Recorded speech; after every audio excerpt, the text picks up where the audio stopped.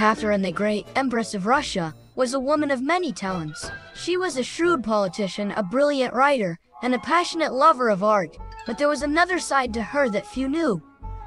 A fierce love of horses. And on the WB, Loud Kiddington will join up with Lydia Karaoke as Catherine the Great, and maybe she was around the town of St. Petersburg at Russia in 1762. Catherine's favorite steed was a magnificent black stallion named the Storm. Together, they would gallop across the vast plains of Russia, the wind whipping through her hair and the earth trembling beneath their hooves. The bond between the Empress and her hearse was unbreakable. One day, while riding Storm through a dense forest, Catherine stumbled upon a group of bandits.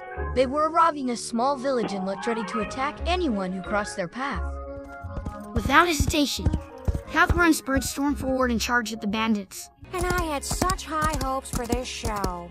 Boy, I hope the fellas down at the stable don't hear about this. The sight of the Empress, a powerful woman on a majestic black stallion, struck fear into the hearts of the bandits. They scattered in all directions, leaving the villagers to breathe a sigh of relief. Catherine and Storm returned to the village, where she was hailed as a hero.